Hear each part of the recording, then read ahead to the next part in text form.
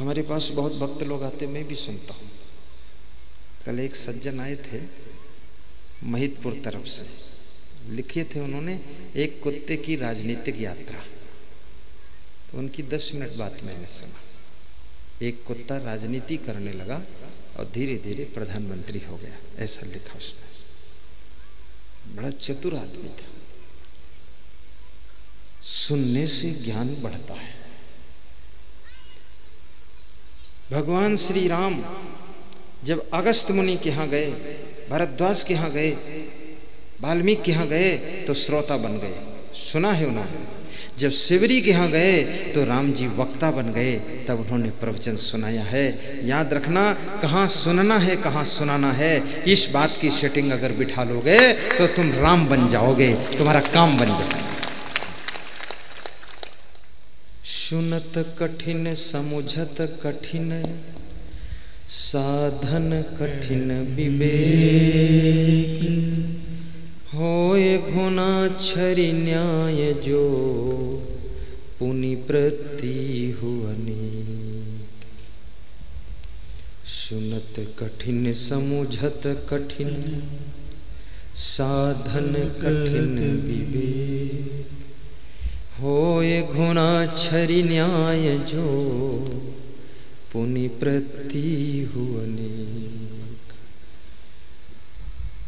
बुद्धिमान, दूसरों की सलाह को हँसते हँसते सुन लेता है। बुद्धिहीन, विवेकहीन, किसी की बात को सुनने में अपनी तोहिनी मानता धोबी ने फिर कपड़ा पीट दिया। पुजारी के ऊपर मैल की छींटे पड़ गई। पुजारी बहुत दुखी हुआ, वापस लौट गया। तीसरी बार फिर स्नान किया। मन में दुख है कि भगवान तेरे लिए मैं पवित्र होकर पूजा करना चाहता हूँ। तेरे में क्या इतनी ताकत नहीं कि इस धोबी को कंट्रोल कर ले? ये धोबी कैसे कपड़ा पीटता है? पुजारी रो पड़ा। विष्णु भगवान लक्ष्मी जी के साथ बैठे हुए बातें कर रहे थे। अचानक उठकर खड़े हो गए। लक्ष्मी जी ने कहा, कहाँ जा रहे हो? बोले, मेरा भक्त मुझे याद कर रहा है। एक धोबी है, दुष्ट है, उसको ठीक करके आता भगवान खुद चल पड़े। कहानी कहती है, भगवान जोश में चले। उधर से विष्णु भगवान आ रहे हैं। इधर से पुजारी तीसरी बार स्नान करके वो आ रहा है और धोबी के पास पहुँचा। और पुजारी ने तीसरी बार फिर धोबी से कहा, कपड़ा मत पीटना, मुझे निकल जाने दो। धोबी नहीं मान रहा है तो पुजारी ने कहा, अरे धोबी की जात तुझे इतनी अकल नहीं, तू मुझे केवल पुजारी ही समझता है क्या? तेरी ऐसी की तैसी? पत्थर उठाया और खींचकर धोबी के तरफ़ मारने चला। तो धोबी तो मूर्ख था ही। उसने भी कपड़ा धोना बंद कर दिया पत्थर उठाकर वो भी सामने सामने खड़ा हो गया। उसी समय विष्णु भगवान आ गए।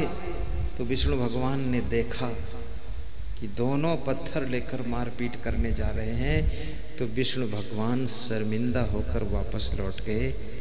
लक्ष्मी जी ने पूछा, धोबी को ठीक कर दिया? अरे बोले, धोबी को क्या ठीक करूँ? वो मेरा भक्त जो पुजारी था, वो भी धोबी ही निकला, दोनों एक ही मॉडल। वो कोई बहुत अच्छा नहीं था, वो तो मारपीट कर रहा था। इसलिए मैं लौट आया कि अब तुम समझो अपना।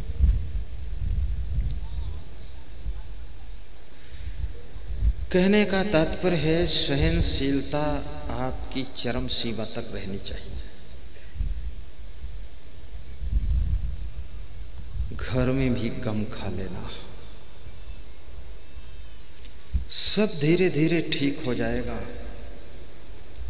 ज़्यादा उलझन मत कीजिए, परेशान मत होइए। संतोष कर लीजिए। यदि किसी ने आपका अपमान किया है झूठे लांछन आपके ऊपर लगा दिए हैं। आपको बदनाम कर दिया है झूठ मूठ। चिंता मत करना। आग को कितना ही दबा करके रखो।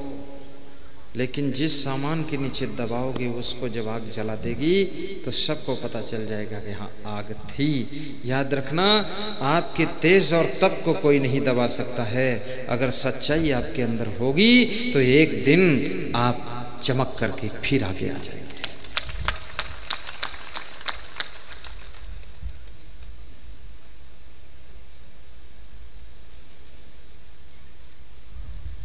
एक पति अपनी पत्नी को लेकर, बच्चे को साथ लेकर हमारे आश्रम नेपाल बॉर्डर मिलने के लिए आया।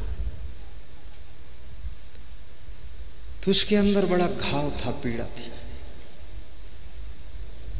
तो जिस मिलन कक्ष में हम मिल रहे थे, वो बैठा, उसका बेटा भी था।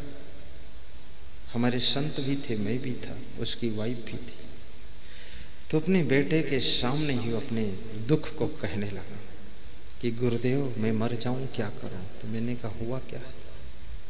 क्योंकि मुझे पता भी नहीं, मैं कैसे कह दूँ, तुम मर जाओ या ज़िंदा रहो? मैटर तो बताओ। तो बोला कि, ये मेरी वाइफ है।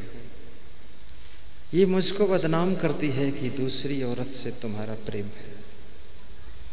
तो मैंने कहा, चुप रहो चुप रहो चुप रहो। मैंने उनके बेटे से कहा, तुम बाहर निकलो। ये बात तुमको नहीं सुनना चाहिए। निकलो। साधुओं से कहा, तुम भी निकलो। दोनों पति पत्नी रह गए। हमने कहा अब बताओ। फूट फूट कर वो रोया। बोले, मैंने किसी दूसरी औरत से कभी संबंध नहीं किया, गुरुदेव। पर हमारे ऊपर पड़ोस की औरतों ने मेरी पत्नी को बहका दिया, इसको संदेह हो गया। अब ये मुझे बदनाम करती है, लांछन लगाती है। तो मैं मर जाना चाहता हूँ, क्या करूँ? तो उसकी पत्नी भी रोने लगी।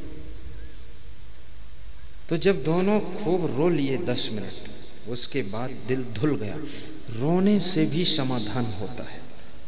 पति पत्नी के बीच में कोई समस्या हो बाप बेटे के बीच में समस्या हो, दोनों बैठकर यदि एक दिन करुणा भर के रो लोगे तो शब्दों से समस्या का समाधान नहीं होता है, लेकिन आंसुओं से समस्या का समाधान हो जाता है। रोने के बाद मैंने समझाने के लिए तैयारी किया तो उनकी पत्नी ने अपने पति के पैर छुए और कान पकड़ा और कहा, माफ़ करो, आज से ज़िंदगी में मैं कुछ नहीं कहूँगी। तुम ठीक हो, अच्छे हो, महान हो। तो पति ने कहा, मैं तुमको धन्यवाद देता हूँ जो कम से कम गुरुदेव के चरणों में बिना समझाए समझ गई याद रखना, किसी के ऊपर झूठा लांछन मत लगाना। और ये भी याद रखना, लांछन लगाने वाले संदेह वाले कार्य भी मत करना। आप अगर दारू की बोतल में दूध भर के लेकर चलोगे और बोतल के ऊपर दारू का लेबल लगा हुआ है, एरिस्टोक्रेट बैक पाइपर हुईस की शराब लिखा हुआ है तो आप बदनाम हो जाओगे। लोग कहेंगे, दुधिया शराब लेकर जा रहा है। दारू की दुकान पर खड़े हो जाओगे, आप बदनाम हो जाओगे कि शराब खरीद कर पीता है। इसलिए ऐसे कार्य भी मत करना। सावधान और जितने ज़्यादा तुम उज्जवल हो, जितना आपका निर्मल चरित्र है, नाम है, उतना ज़्यादा सावधान रहना।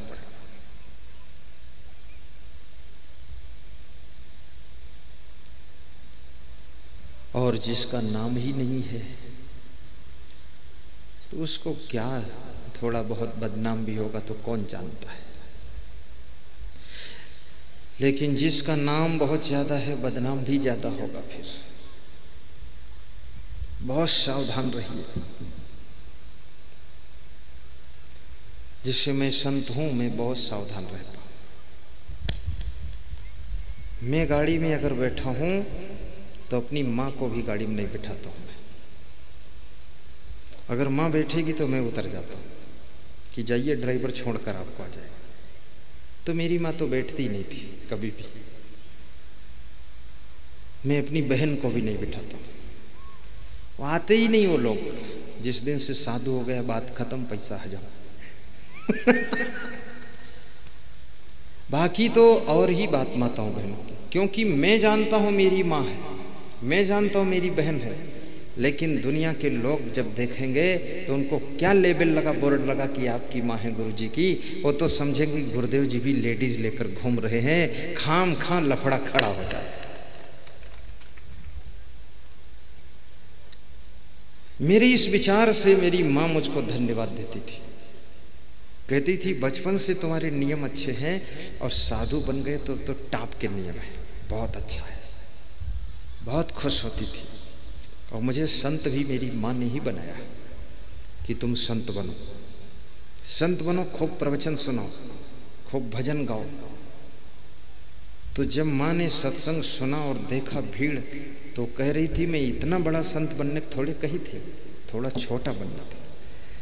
तो हमने कहा, बड़े हो गए तो छोटा हो जाऊँ क्या? अरे बोले, वो हो गए तो हो गए, और बड़े हो जाओ, क्या फ़र्क है? उसका मन खुश हुआ। मैं सभी बेटे और बेटियों से कहूँगा, जो भी बनो टॉप क्लास के बनो, संत बनो या भक्त बनो, या अफसर बनो, या राजनीति में नेतागिरी करो टॉप क्लास को छो, आकाश की ऊंचाइयों को छो तो तुम्हारे माता पिता को इतनी प्रसन्नता प्राप्त होगी, उनका दिल गदगद हो जाएगा कि मेरा बेटा और मेरी बेटी आज टॉप पर खड़े हुए।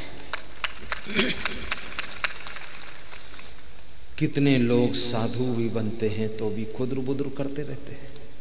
चुप्पे चुप्पे बेड़ी पीते रहते हैं। सिर में जटा, काम लटा, कपड़ा फटा। ये क्या लफड़ा बना रखा है? साधु यानी साधु, सबका कल्याण करने के लिए तुम हो बाबा जी और कितने लोग गृहस्थ बनते हैं, गृहस्थी में भी ठीक ठाक नहीं रहते। माता पिता भी दुखी सास ससुर भी दुखी, दारू भी करा रहे हैं। इंग्लिश पढ़े तो नहीं है, लेकिन नशे में इंग्लिश बोल रहे हैं। कोई उनकी भाषा कोई समझता नहीं है। गड़बड़ गड़बड़ बोलते चले आ रहे हैं। दूसरे घर में घुस रहे हैं। दूसरा घर वाला कहता है, ये घर नहीं, उधर है। बोले, ऐसा ही मेरा घर है। अरे, ऐसा है तो उधर जाओ। ये शराब पीकर आपकी पत्नी दुखी, बच्चे दुखी, माँ दुखी। मैं तो आपसे निवेदन करूँगा कि माँ ने अपने मांस के टुकड़े से तुम्हारे शरीर का निर्माण किया है। ये शरीर भी तुम्हारा नहीं है, ये माँ का दिया हुआ है। ऐसी माँ को दुख मत देना, शराब पीना छोड़ देना, मांस मछली खाना छोड़ देना, और माँ के सुबह शाम पैर छूकर कहना, माँ तेरी सब तमन्ना को पूरा करने के लिए मेरा जन्म हुआ है।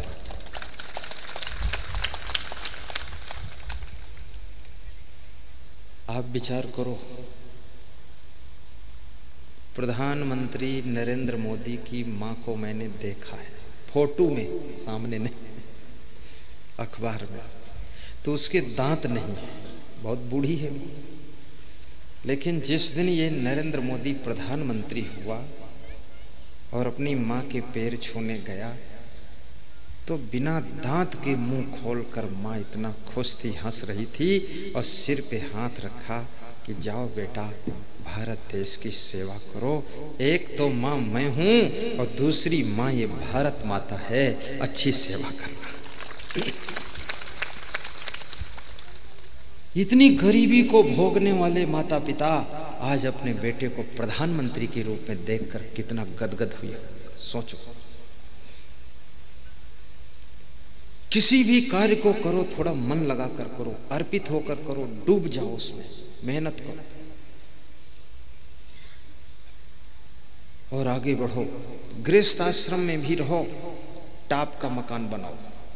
ये क्या उबड़ खाबड़ काम चल रहा है? दो सौ की दारू रोज पीते हो और मकान टपक रहा है, पानी बरसता चले। बंद करो ऐसा वैसा खाना पीना। कमाओ पैसा, बचाओ पैसा और लगाओ पैसा, मकान बनाओ ऐसा कि गाँव में टॉप नंबर का। हवेली में रहो। गाड़ी भी लाओ टॉप की। बैठ कर चलो तो लगे कि स्वर्ग में जा रहे हैं। ये क्या फिट फिट गाड़ी लिए घूम रहे फालतू? और इतनी मेहनत करो। खेती में, बाड़ी में, दुकानदारी में बिज़नेस में। लोग कहते हैं, बड़ा कंपटीशन है। मैं तो कहता हूँ, अच्छे आदमी के लिए किसी फ़ील्ड में कोई कंपटीशन है ही नहीं। त्रिविधम नरकसिदम द्वारम नाशनम आत्मना। काम क्रोध तथा लोभ तस्मात् त्यजेत जो निष्काम है, निरंतर किसी की सेवा कर सकता है।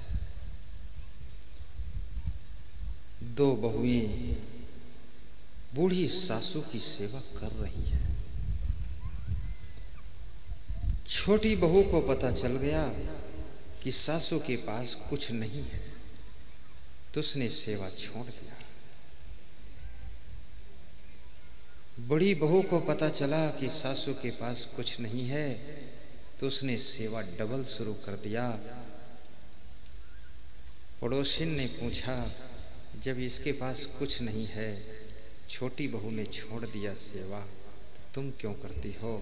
उसने कहा, सासू के पास कुछ भी नहीं है, लेकिन सासू के पास में एक बेटा था जिसको उसने मेरी सेवा में दिया है। ये कोई छोटी धरोहर नहीं है।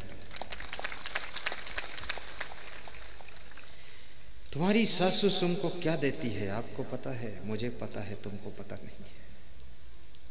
उसका बेटा तुम्हारी सेवा में ज़िंदगी भर के लिए दे देती है।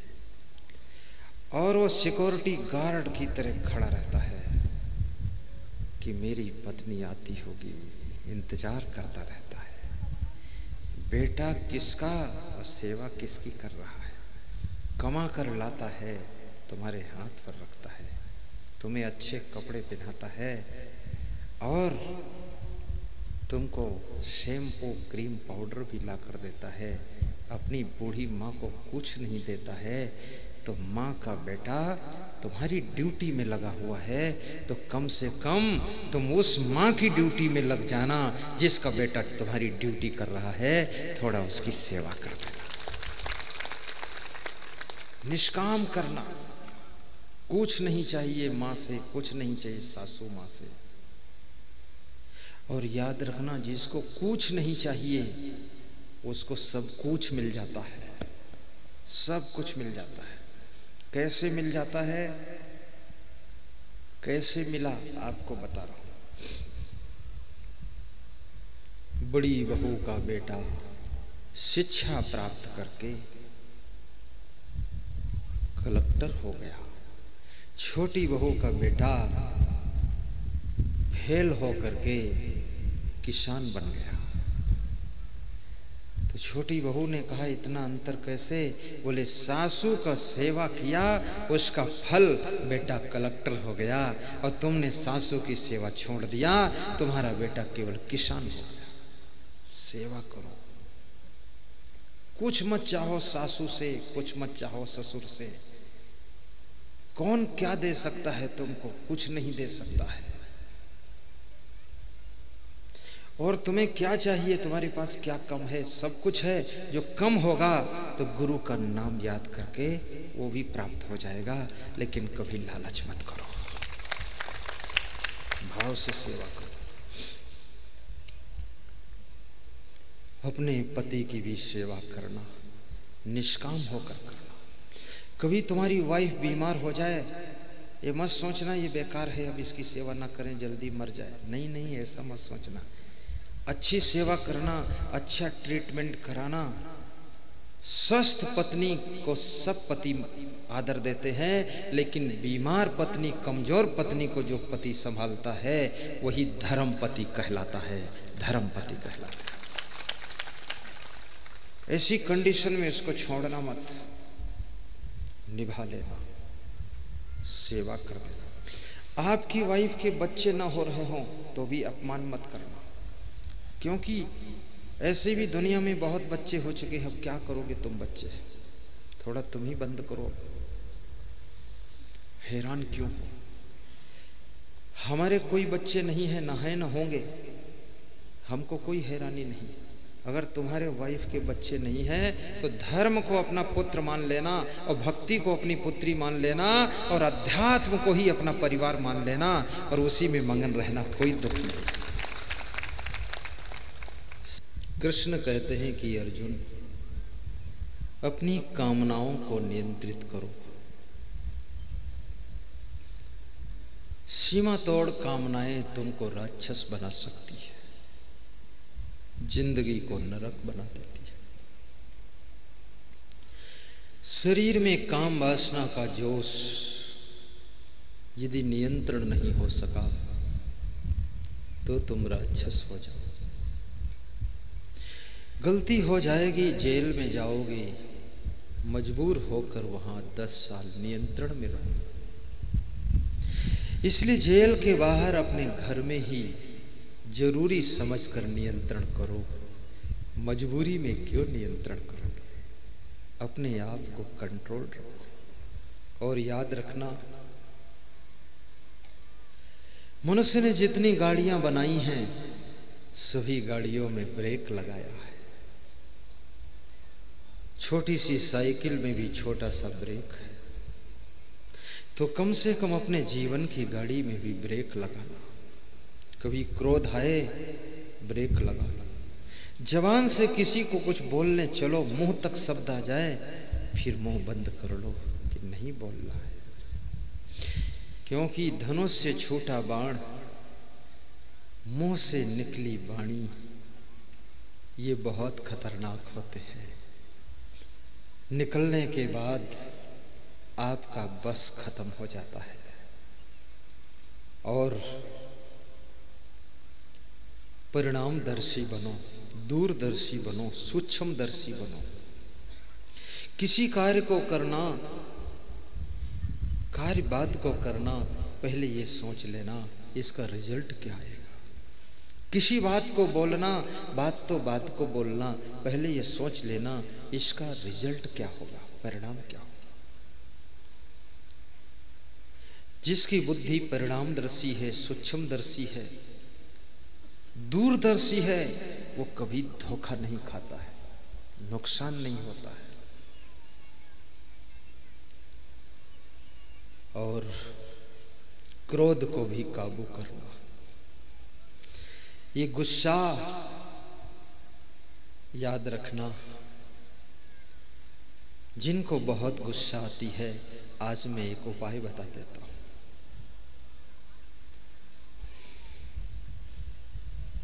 संकल्प ले लेना कि हमारे परिवार में कोई तीन बार, एक ही प्रकार की गलती तीन बार करेगा दिन भर में तो तीन बार क्षमा कर दूँगा।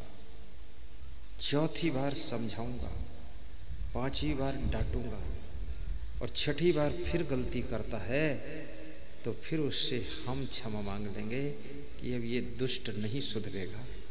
अब रहने दो इसको कुछ करने को। ज़्यादा करोगे तो जहर पी लेगा। बहुत लोगों ने जहर पिया है। एक लड़के ने जहर पिया, हॉस्पिटल भर्ती हुआ, बच गया, मरा नहीं। तो मैंने पूछा, तूने जहर क्यों पिया? बोले, जहर ज़्यादा नहीं पिया था, थोड़ा पिया था। तो हमने कहा, थोड़ा क्यों पिया? बोले, घर वालों को डरवाने के लिए, मरने के लिए नहीं पिया था। ये जहर पीकर डरवाते हो। जहर मत पीना। आपके माता पिता आपकी पत्नी आपका पति कभी डांट दे, समझा दे, मुस्करा के सुन लेना और कहना, धन्यवाद धन्यवाद है। जहर वहर मत पीना, ये धमकी मत देना कि मर जाऊँगा। अरे, मरना आसान है, पर अपनी बुराइयों को मारना बहुत कठिन है। बहुत तुम मरने मारने की बात करते हो। यदि वीर हो तो अपनी बुराइयों को मार कर दिखा दो। तब हम समझे तुम बहुत बलवान हो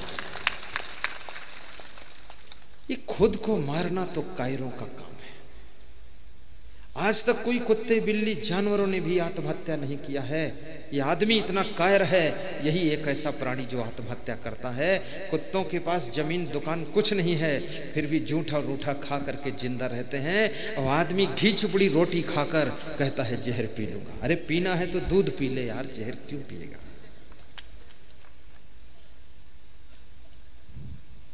जिस माँ का लाल मर जाएगा, उस माँ पर क्या बीतेगी? जिस पिता का बेटा लाश पड़ी होगी, उनकी आत्मा कितनी दुखी होगी? तेरे मरने के लिए उन्होंने जन्म दिया है तुझको। तुझको इसलिए डांट रहे कि तू अच्छा हो जा, गलती मत कर, बाकी मरने के लिए थोड़े डांट रहे और एक काम और करना, गम भी खा लेना। क्योंकि यदि सोचो कि दुनिया पूरी सुधर जाएगी, परिवार पूरा सुधर जाएगा, कभी भी नहीं सुधरेगा। घर में एक नालायक ऐसा रहेगा जो तुमको इंजेक्शन मारता रहेगा। और यदि सब सुधर जाए तो समझ लेना कि तुम्हारी आत्मा ने बहुत पुण्य किया है। जन्म जन्म पुण्य किया है और इतना किस्मत लेकर तुम पैदा हुए हो। अब तुम्हें इस दुनिया में दुख नहीं मिलने वाला है। जीते जी स्वर का आनंद लीजिए। सब परिवार अच्छा होगा।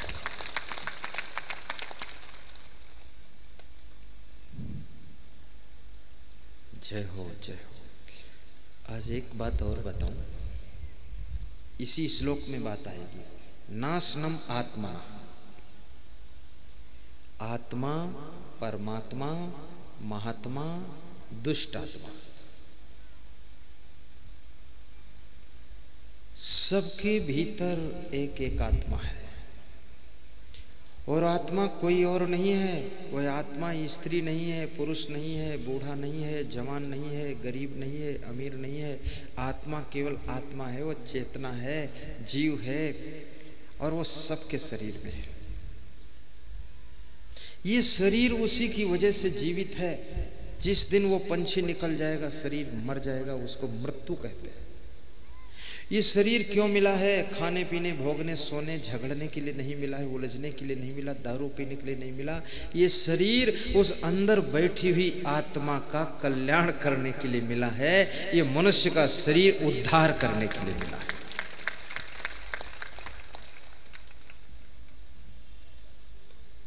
तो इस मनुष्य शरीर को पाकर के आत्म कल्याण भी कीजिए।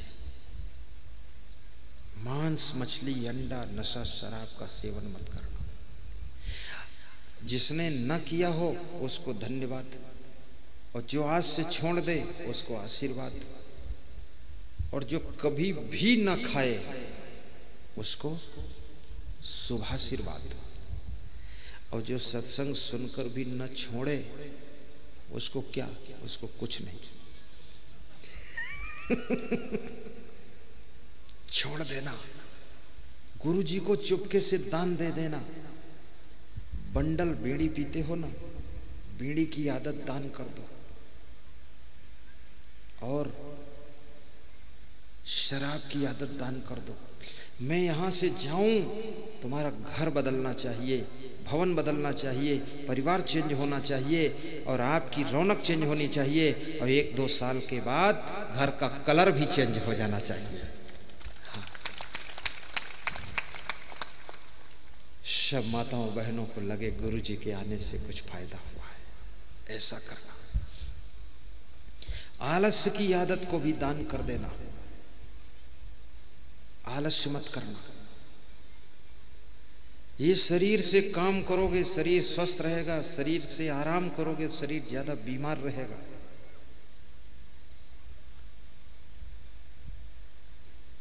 आज मैं सुबह सुबह पैदल चल रहा था। शाम को भी चलता हूँ, सुबह भी चलता हूँ। दो दो तीन तीन किलोमीटर बरामदे में है। तो शाम को मैंने राजेंद्र जी को पैदल चलवाया था और सुबह वीरेंद्र को पैदल चलवाया। कोई मिल जाता उसको पकड़ लेता हूँ साथ में। पैदल चलना संपूर्ण व्यायाम है, दूध संपूर्ण आहार है, हंसना संपूर्ण स्वास्थ्य की चाबी है, और पूर्ण पानी पीना बुद्धि वर्धक टानिक है, खूब पानी पीना। पानी कम पीते हो इसलिए बुद्धि कम है।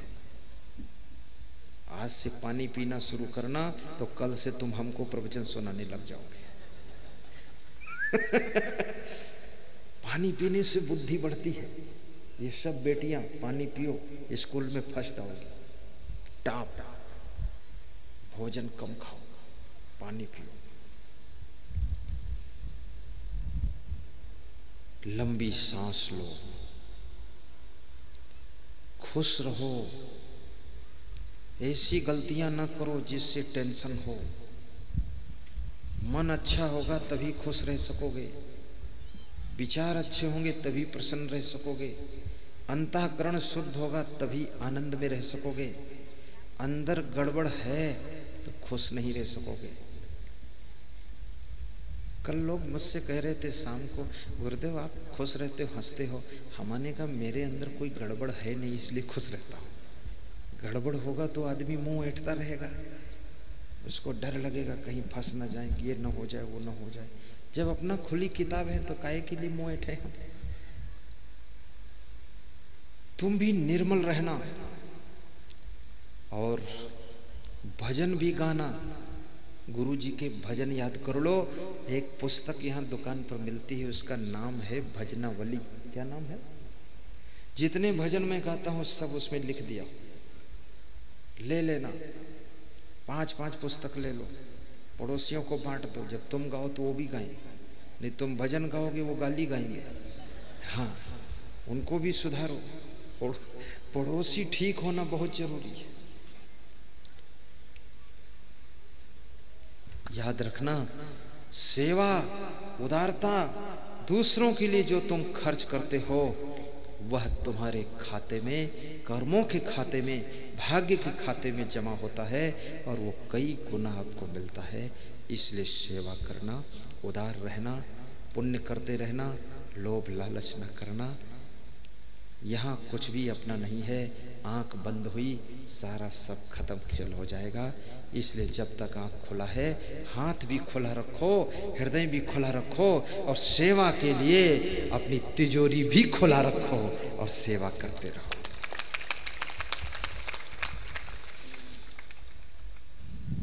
अब घुटनों पे हाथ रख लो, तीन उंगली फैला लो, पहली उंगली अंगूठा जोड़ लो और सत्संग विसर्जन का मंत्र बोलो। सर्वे भवन्तु सुखिनः सर्वे सन्तु